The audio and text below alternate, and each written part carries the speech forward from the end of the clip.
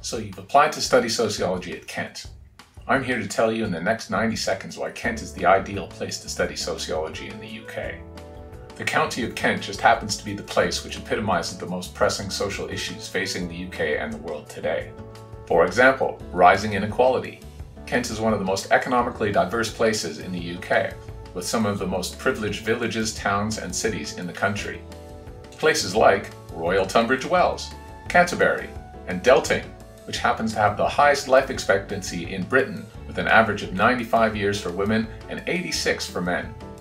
It also has some of the poorest places in the UK, such as Gravesend, Dover, and Margate.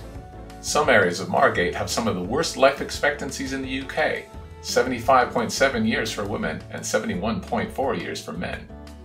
In addition, Kent, being the closest point to Europe, is the site where the UK connects to the world through the ports of Dover, Folkestone, and the Channel Tunnel.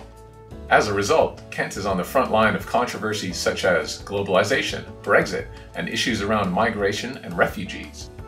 Kent also represents the contrast between Britain's past and future.